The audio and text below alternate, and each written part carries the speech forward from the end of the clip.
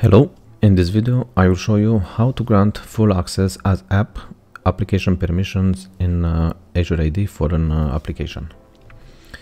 So for this, go to Azure portal, then open Azure Active Directory, then navigate to app registrations.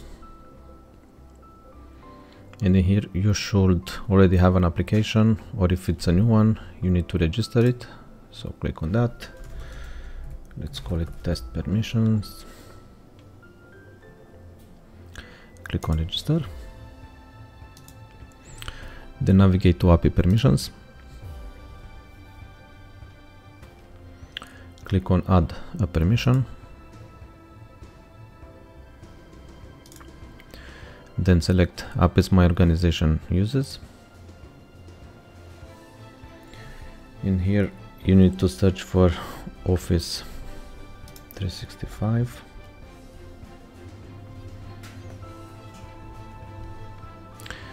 select Office 365 Exchange Online. Then go to application permissions. And if you don't see it here you need to search for it. Full access as app. Select it. Click on add permissions and after that you need to grant admin consent. And that's it. That's all for today. Thanks for watching.